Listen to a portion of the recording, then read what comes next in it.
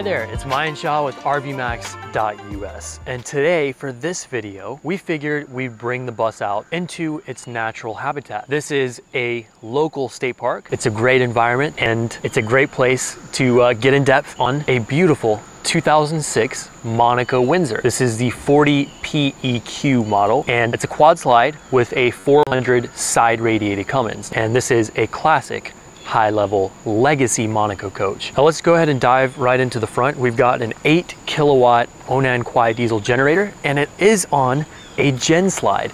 So it's a power gen slide push button. The button is actually located in the cockpit, which is uh, unique. And the entire eight kilowatt slides out, gives you much better access to it and to you know general vicinity things as far as your front end goes. Now the face of the bus is in excellent condition. We had the 3M coat removed. So the paint is in superb shape. There's none of that uh, cracking or fading or rotting away 3M film on the front of the bus. You could always reapply it if you really wanted to or get some kind of button protector, if you will, if you plan on doing a ton of miles and you're worried about that. But there are a few small rock chips and minor paint imperfections here and there, but overall the face is in excellent shape. There is a one piece panoramic windshield up top. And this has, again, you know, Monaco had a consistent cockpit feel, I feel like throughout all of their A buses. Um, and even some of the A gas models as far as the positioning of the seating in relation to the mirrors and the, the whole way the cockpit is laid out. I always value that a lot, um, especially just creating consistency throughout. Whenever you get in a Monaco big bus, you kind of know what to look for. But this one in particular has been set up pretty nice. So we've got Villa furniture up in the front, custom gauges in the cockpit, VIP smart wheel, of course, and overall just an excellent experience. These mirrors, again, typical Monaco fashion, long, long arms sticking out, and I think they contribute to giving you a much better perspective of your blind spot as you have more distance in between your mirror and that actual blind spot with the longer arm. Now the headlights are actually very clear and they're in pretty good shape, especially for the age. And overall the bus on the outside looks quite superb. They were uh, finished in a high quality gel coat, that's what it says. So there is, uh, I think, I wanna say in the darker colors, there is some minor paint checking in some of the darker red, that's just going to exist. It's very common on this generation buses, even the most pristine buses from this era. Um, and it's just because of the material that was used at the time. And um, you know, it's not a big deal, it's purely cosmetic. And this bus, as I said, still got a very deep glaze, looks fantastic. And I think all the lines um, look make it look more substantial, especially with those 295 size tires that fill out the wheel wells. This has, uh, of course, full air brakes in addition to the dual stage exhaust brake, and the rotors in the front deals with heat better and uh, for more prolonged periods of time. So that's quite nice, drums in the back. Now we do have electric awnings up here, so we've got an electric entrance awning, um, painted, covered of course, as well as a lengthy electric patio awning, which again is shrouded in aluminum. And all four of the slides have toppers, of course, and all four have aluminum shrouds, which they are rolled up in into when you uh, draw the slides in. Quite a nice touch. There are some window awnings as well, so you can get a little extra shade on those uh, dual pane tinted windows. So if you want a little extra, you certainly can get that. So around back, this has a 400 horsepower Cummins ISL. It's an 8.9 liter, producing 1,200 pound-feet of torque and it's connected to a six-speed Allison transmission. It's a 3000 series Allison transmission. And um, this transmission, the way it's mapped with the throttle is quite intuitive when it comes to city driving and using the dual stage exhaust brake. It allows the revs to stay in the perfect position instead of upshifting um, in a lot of scenarios. And that's a minor uh, tweak, but uh, very tasteful and well thought out. This has a 10,000 pound towing capacity around back and the uh, aluminum bar does not come with the coach, unfortunately. There is a small little scuff right here and we should be having this rectified. There is a small scratch on the other side. Again, you'll find minor things, especially if you bring a magnifying glass, uh, you'll be able to find cosmetic flaws until the sun goes down. And that's just sort of the reality. This one is gonna be solved before it goes out. Never know, you might be adding one or two yourself. Overall, the body is really clean though, and um, the imperfections are quite minor. Just pointing them out so you are aware before you come and take a peek at the bus and you're surprised. Now around back, we've got an electric 50 amp power reel. So you just pull it out manually and hit the button and reel it back in. The grill for the side radiator is painted, which is quite nice. And the docking lights are pretty bright and they're recessed into the sides of the coach. So they get a bit that sort of marine look. Now that chrome pipe is for our AquaHot hydronic heating system. It is a diesel fired system that will give you unlimited hot water and uh, it will also preheat the engine because the coolant for the system cycles through uh, an interesting little unit in the back that sucks heat from the engine. What this means is while driving the bus or running the engine, you will have um, hot water and you'll have furnace heat just by running the engine.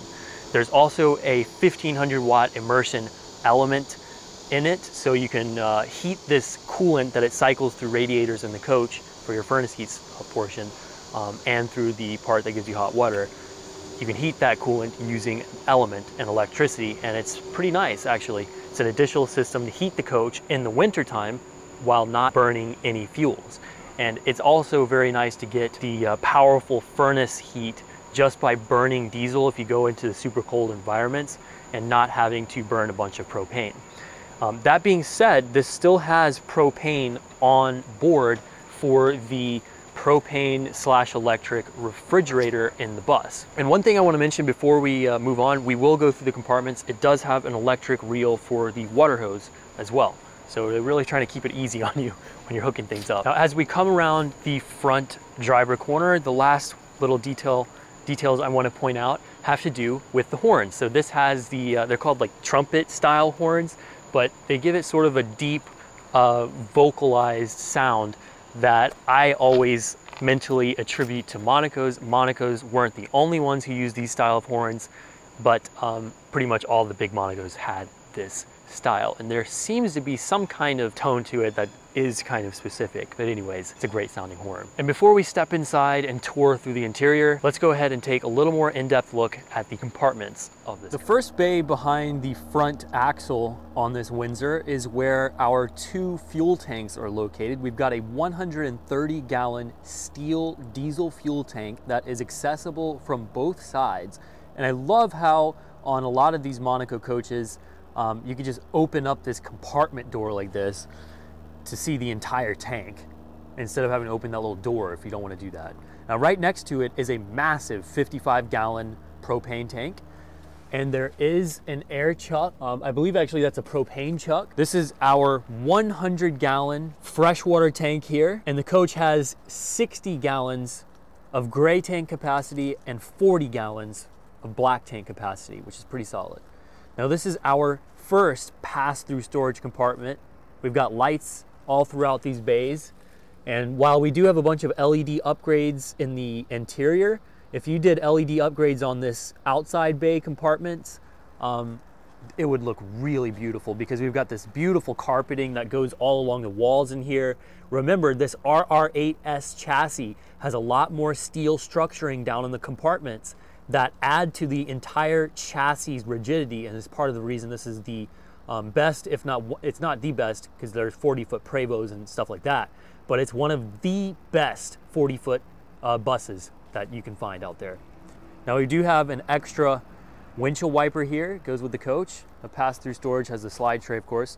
Um, I left my longboard in here. It doesn't go with the coach, but we do have an extra storage compartment or a little container for a sewer hose, as well as extra filters, extra belts, all goes with the coach. And this is another pass-through storage compartment that doesn't have a tray, so you have a little more height in it. There are power outlets as well on the left, as well as some other things like 12 volt cigarette type uh, power supply and uh, some other thing like phone and cable. Now that, um, those little center pieces will slide so you can get access to your AquaHot, which is back here in this bay in the center. And on the left is where our automatic transfer switch is located. And right next to that, you can see a little dial which controls the thermostat for the Aqua Hot bay heating. Now on the back right, we've got our boiler fluid reservoir tank for the Aqua Hot. You see the Aqua Hot unit itself back there in the middle. The black control box is located on the right of this compartment for the Aqua Hot. So that is a 2000 watt inverter. And next to the inverter compartment, we've got a um, pretty, pretty good depth here on this compartment. It goes all the way up to the back of our wet bay. So that's a pretty good, uh, pretty good size. And right above it is where our, our uh, black and gray tanks are located. I love these recessed docking lights. They just look awesome. Now back here, we've got our battery compartment. So right, we've got two uh, 12 volt chassis batteries in parallel on the top, and we've got four coach side batteries on the bottom, six volts. And they are both on sliding trays that will easily slide out and then they slide back in and lock in place. There's also a battery tender um, for the chassis batteries. Right there you can see the slide trays for those batteries slid out We've got two hard cutoffs, which I love. Monaco's always done that. It gives you two hard cutoffs for your chassis and coach side batteries. So you can easily store the coach. We've got some fuses, things related to the uh, coach as well as the chassis. You've got auxiliary start, revealing our 8.9 liter, 400 horsepower Cummins ISL. This is producing about 1,250 pound-feet of torque and 400 horsepower. And because the radiator is on the side, that means you have this extensive access via the rear engine hatch. And this is a good size engine hatch, I have to say. The belts are in good shape. Insulation is in pretty good shape. Apologize, it's getting dark out here. I should have gotten a flashlight or something, but got our air intake there, or air filter, I'm sorry, on the left. And as you can see, that air intake goes up to the top. So you've got a cold air above tarmac air intake for this engine, which is really smart. All right, so this is our wet bay. So this does have RV SaniCon there on the bottom right. It's currently not plugged in, but it does power on. Um, so you can just dump the coach like a regular coach or hook up the SaniCon. There is a black tank flush as well as cable TV hookups, phone jacks. Um, this thing has smart TVs in it.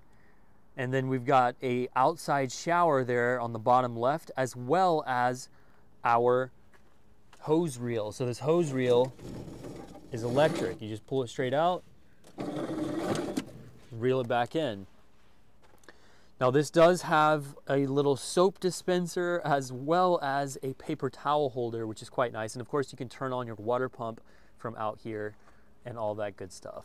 So a nice wet bay. Next door is where we have a Manabloc as well as a double filter setup. And on the right, we've got the water pump for the coach. So the Manabloc lets you shut off a specific area in the coach if you unfortunately you know, incur a plumbing leak. You can still use the whole system except for that one spot. It's really nice. Even breaks it down to cold and hot. Now this is the other side of our pass-through storage compartments. And as you can see, these doors are quite thick. They're nicely finished and uh, well insulated. And we do have, like you've seen already, the uh, AquaHot Bay Heat. Now this is our 100 gallon fresh tank, our 55 gallon propane tank, and our 130 gallon diesel tank. And look at those Alcoa wheels, even though they're dirty, on those uh, big old tires. This chassis is incredible. The fact that all these bays um, are much more structurally sound and important to the chassis itself. There's uh, this coach when you drive it, it just it feels so solid. If you ask a lot of people out there who've been around these RVs for a long time and have some experience around a lot of them, old dealers, people who've been had a bunch of coaches or have one of these Roadmasters and have had other coaches, they will tell you Windsor is a serious chassis. It's a serious bus just a gorgeous coach overall. All right, so let's check out the hydraulic generator slide. That is slick. And it reveals our Onan 8000 watt generator. And look at that gen slide.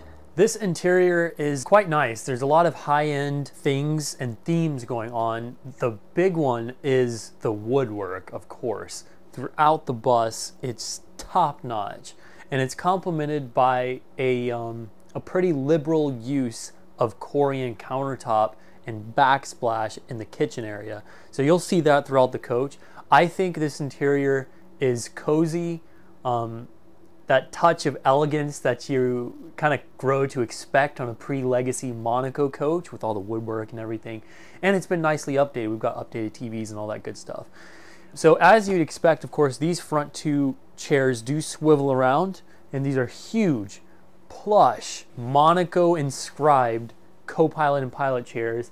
And one of the big things that is nice about the massive one-piece windshield is that it curves around the side. So not only does this help you when you're driving, but when you park the coach, you get an excellent view out of the front of the bus. And um, unfortunately, I don't know if I got any pictures, but when Kai and I were camping, we had a great view out of the front of this coach. Could see the lake, could see everything. It was super nice.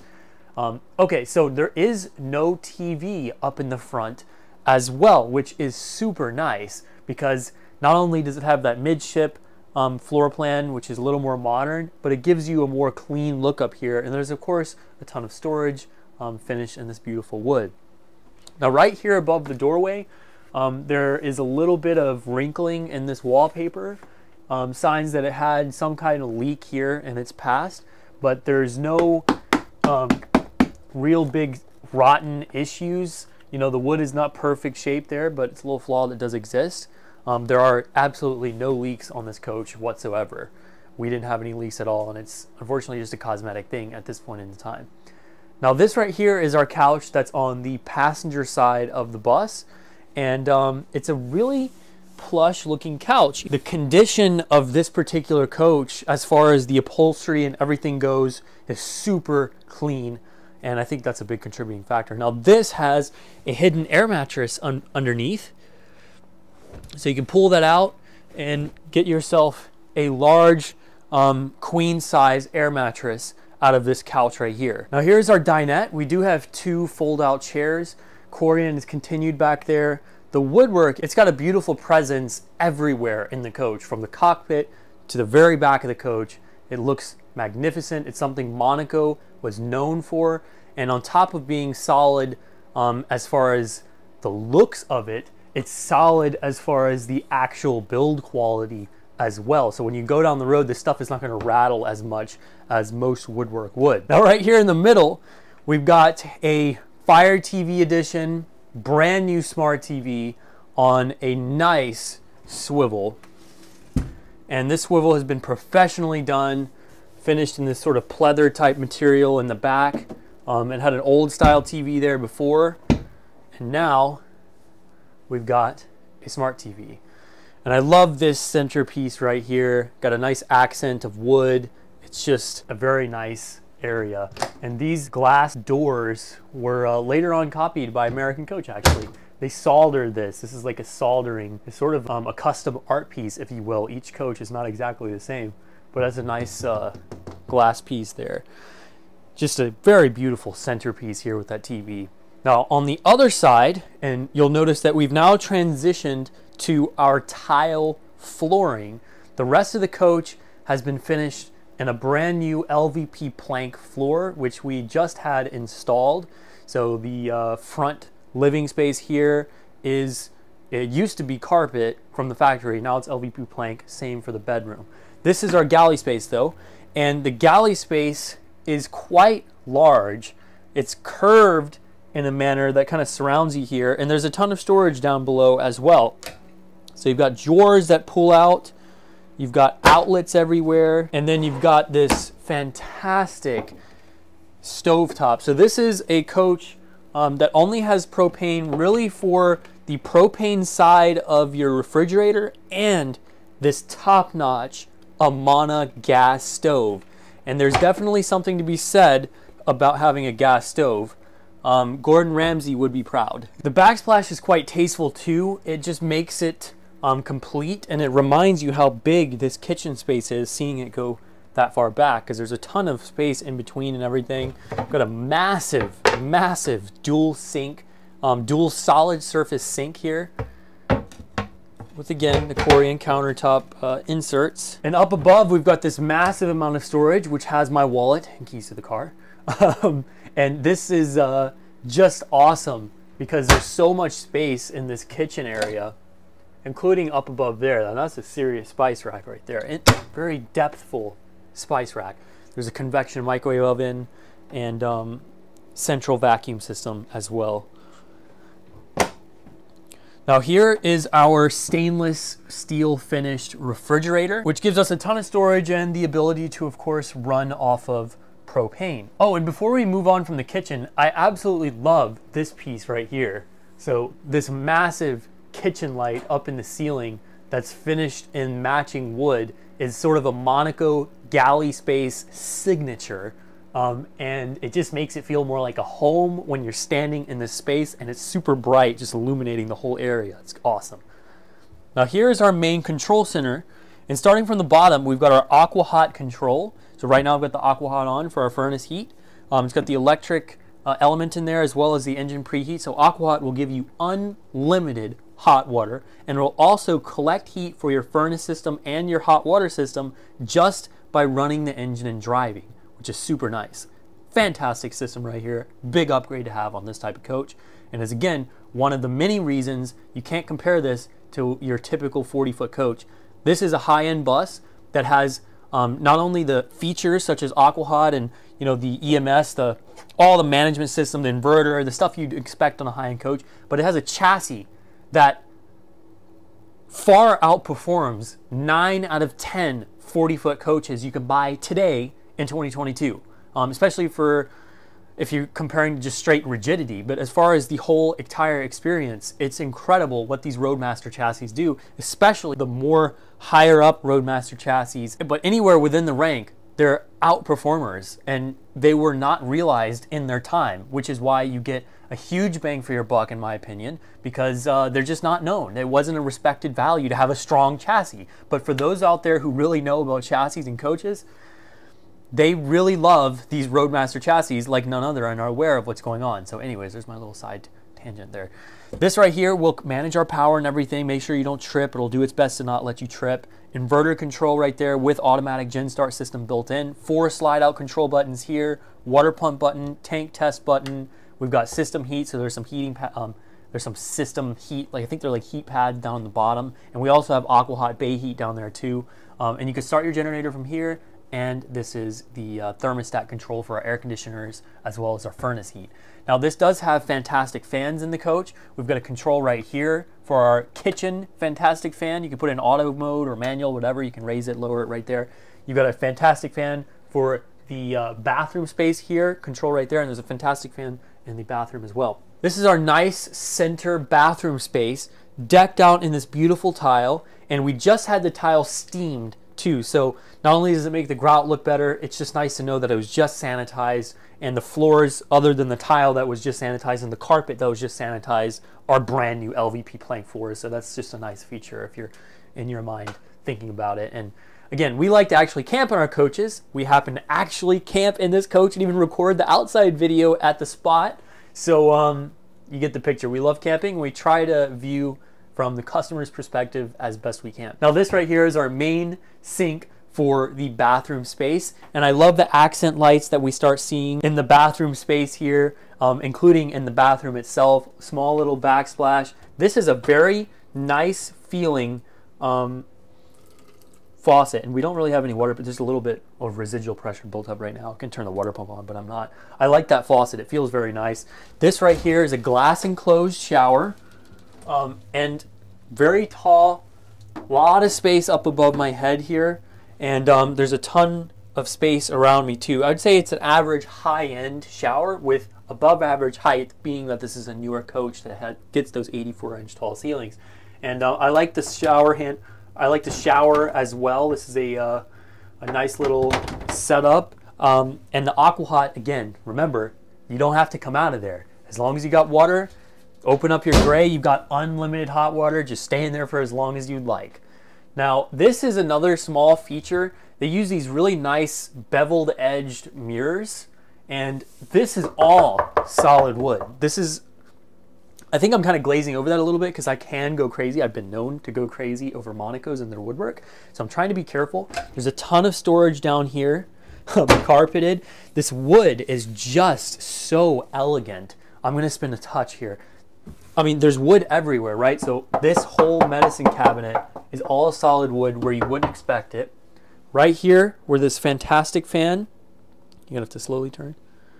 right behind you where this fantastic fan is located, this is just what I do in a Monaco coach. I just go around and do this. You can ask Kaya. She's shaking her head behind the camera. she knows what I do in Monaco. I'm just like, oh my gosh. You know, some of this stuff might not be like solid pieces of wood. That is, but there's a ton of wood um, in areas where you wouldn't expect it, where you're not necessarily going to check, and it just kind of brings the whole idea of high quality wood together. In um, addition to the wood actually being really well built. Now we've got a built-in dedicated sink for this bathroom, which I really like. More beveled, very tall mirrors right there. LED lights in the vanities. Um, so I love the LED lights upgrades that we have in the coach.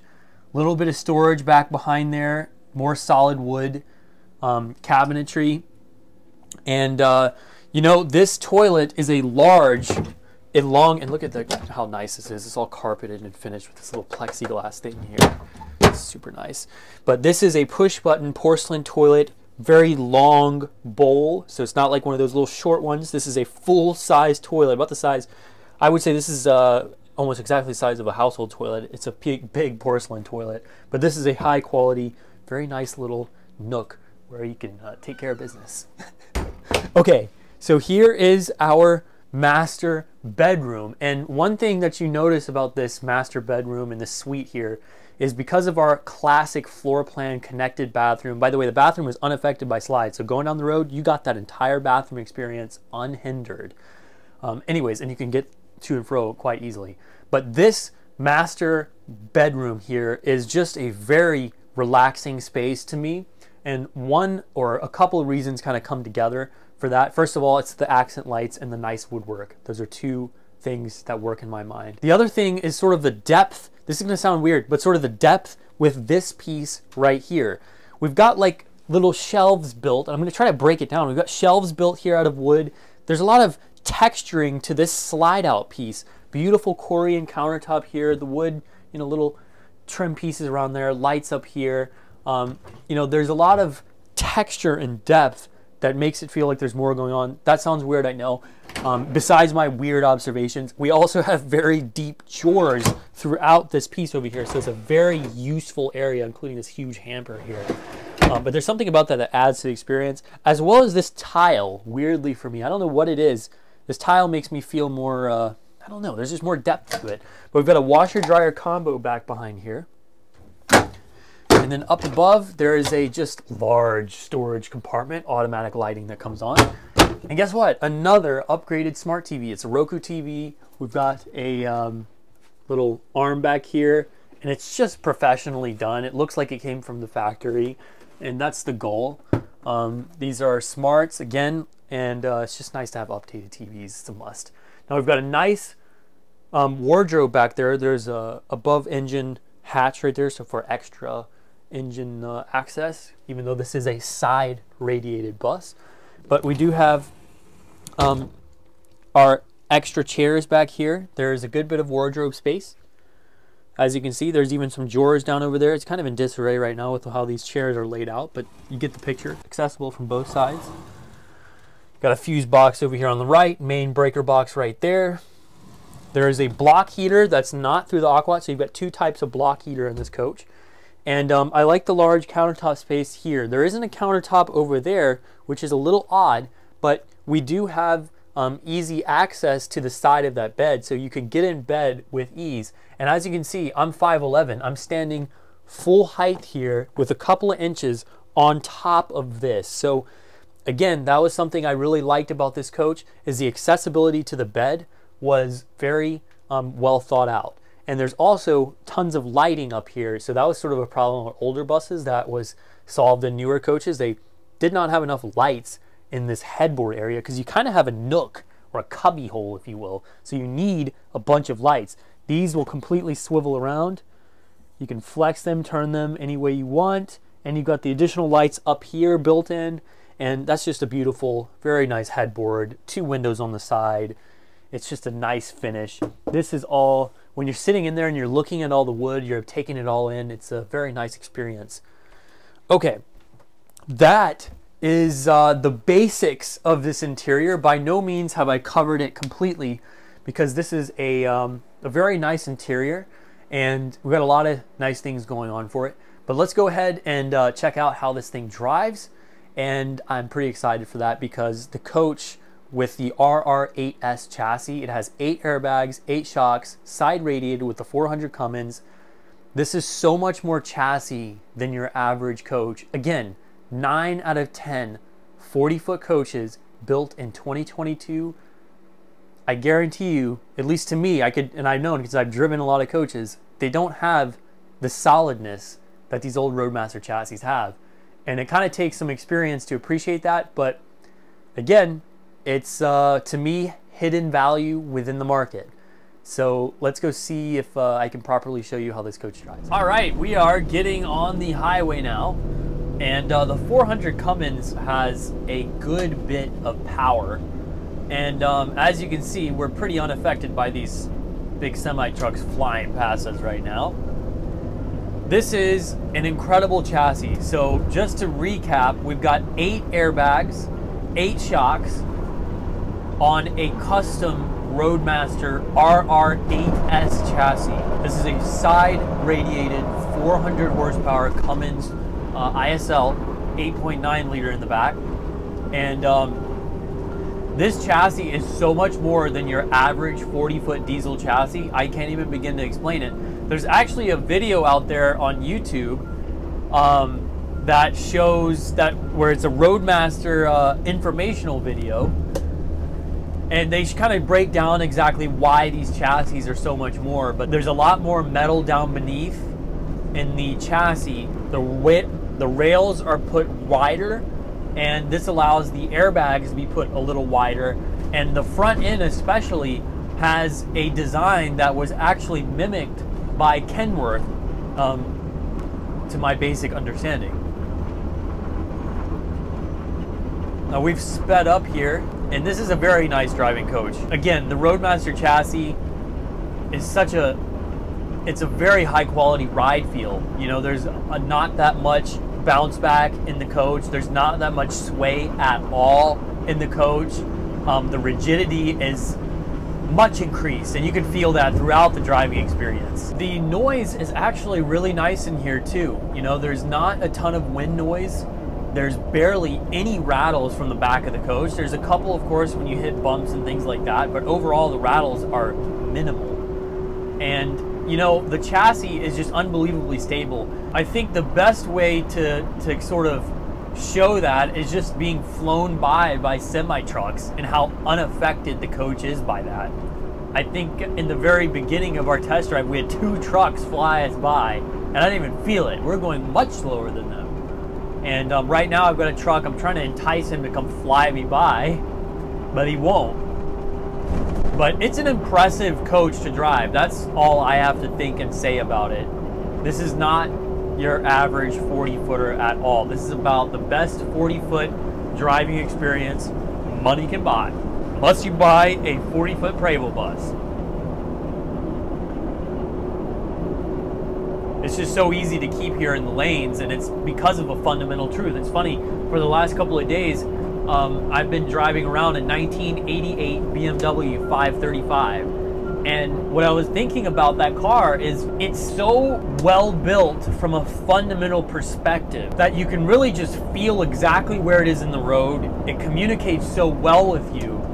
And this coach while it does have a lot more rigidity and structural stuff, so fundamentally it's better built, right? But it's also the feel thing. And the feel thing is incredible. I mean, the way it just handles this stuff, you've gotta you've gotta look into Roadmaster chassis if you're not familiar with them. That is all I can say.